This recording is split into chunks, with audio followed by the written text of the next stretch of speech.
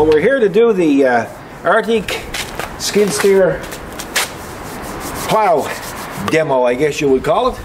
Hey? That's right. We're excited. This one here, we're going to leave the uh, wings on. Uh, we're gonna, this video, the wings will be on. We had snow last night, but we had a lot of high winds. And what we have when we have high winds, we usually get drifting. So you can see there's no snow here, but if Kathy went over there by the fire hydrant, she'd probably be up to her knees in it. That's right. Out on the other side is going to be really deep, so we're going to use the, the plow as much as we can, but I have to allocate where I'm putting the snow because we don't know how much winter is left. The snow is not only compact, but it's also wet. You can see, look how the pavement is starting to wetten up. So this is what you get, wet snow. And that even compounds the problem. Again, it's good because it's an Arctic with the poly blade, but the tractor got to work really hard. So we're going to get her ready, get it started, and then you're going to see the very push, uh, the very first push with this new Arctic plow.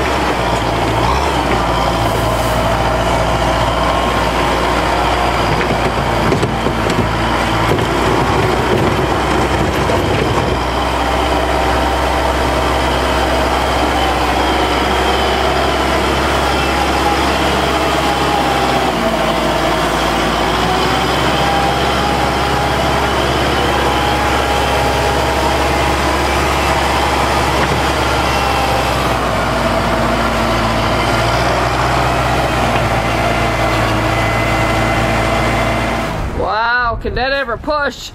That's crazy. Wow, isn't it?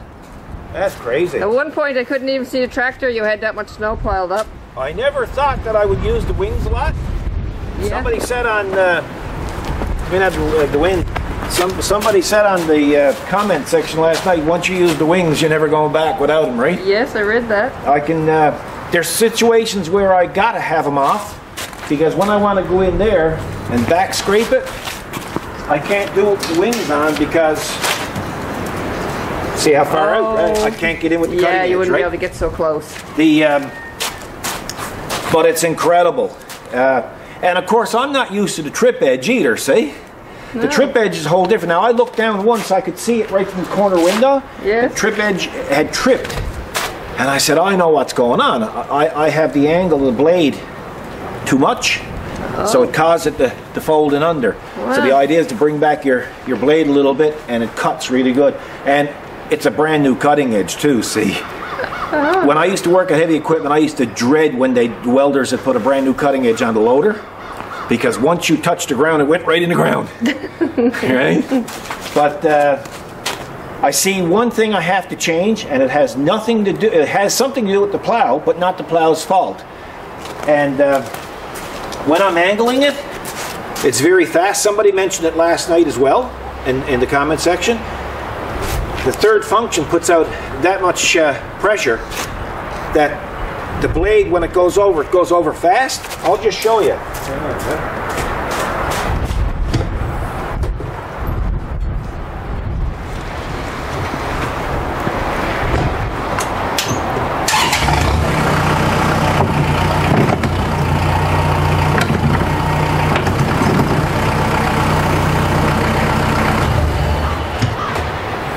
That's faster than it needs to be.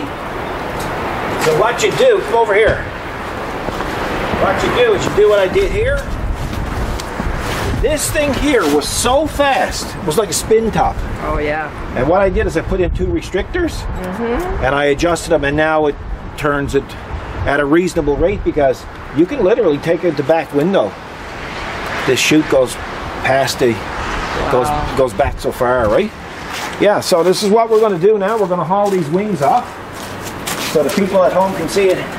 Another thing too that you'll see, I went in there and it's solid ice. You can see the difference in the snow. Look. Yes. That's ice, right? Because we've had snow, rain, snow, rain, snow, rain. That's right. So that that way the crossover valve is working because you see the the uh, the blade when it went. Mm-hmm. Right. Well, that's taking the pressure off the hydraulic system. Okay. In other words, it's putting some give into the system. If I never had that, it's quite possible I could break a line or break a steel pipe up here. Don't ask me how I know. Okay. Okay. Okay. okay, folks, don't ask. so now we're going to see because I've never had these off before. Oh, that's right. Yeah. We're all going to see it now for the first time. I got them them clips on it. I'm going to tell you something. They're not friendly on the fingers. Oh, yeah, you don't want them to snap back. No. No. They're not friendly. I've been bitten by them. I got to get the pliers. Yeah, I've been bitten by them clips before. They're nasty. They hit you right to the bone.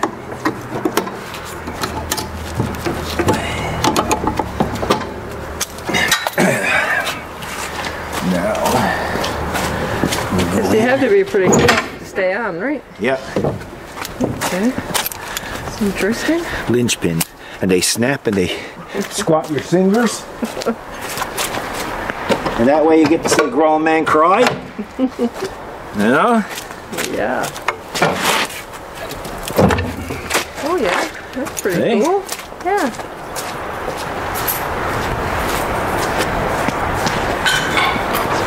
So we shall show you how this works, folks. You're clipping her wings. Yeah. You keep your feet from out and under it. Wow, now that's pretty cool, isn't it? Cool as a drool. Cool as the drool. Look at that. Yeah, neat. Okay. I'd say it's heavy, is it? It's heavy. Hey, I already don't build anything light. No, This is not Fisher Price. this is tough. Yeah.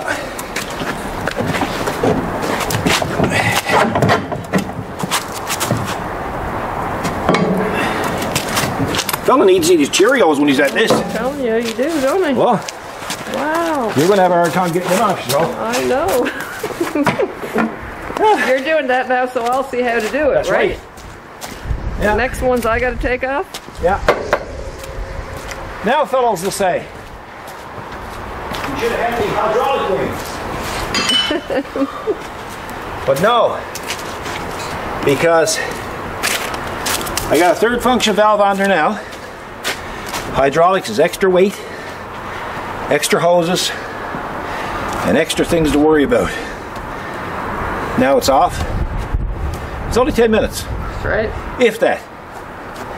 So now I can get in there and get the Yes, snow. and do this Unless you area. want the shovel. No, no, that's okay. You can do it. Okay. Okay.